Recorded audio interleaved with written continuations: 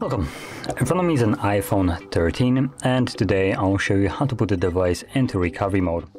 Now we will need a cable for this and a computer. Uh, obviously I'm using Windows for this so I needed to download iTunes through Microsoft Store but you can also use a, a Mac computer and you don't need to download anything for that. So just uh, launch on Mac, launch Finder and on Windows obviously launch uh, iTunes.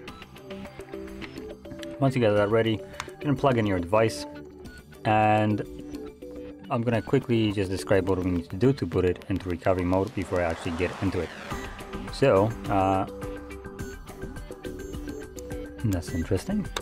Okay, uh, so what you're gonna do is press volume up, then volume down, and you will then hold power key for the remainder of the time till the device boots into recovery mode.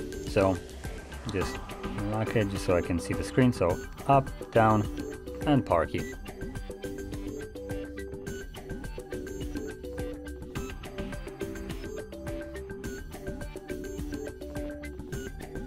So you will see the device turns off, keep holding, it will start turning back on.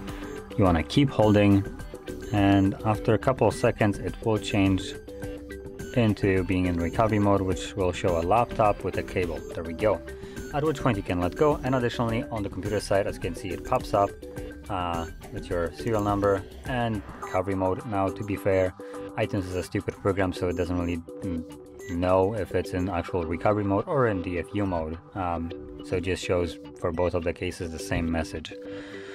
But anyway, you can see it on the phone itself. It is in recovery mode. Uh, the mode always says the laptop with the cable. And that is how you boot it into it. Now to leave this mode, all you need to do is hold the power key till this turns off. So I'm gonna do that right now.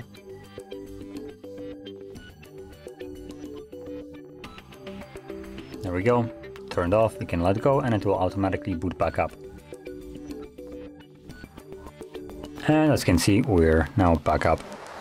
So, if you found this very helpful, don't forget to hit like, subscribe, and thanks for watching.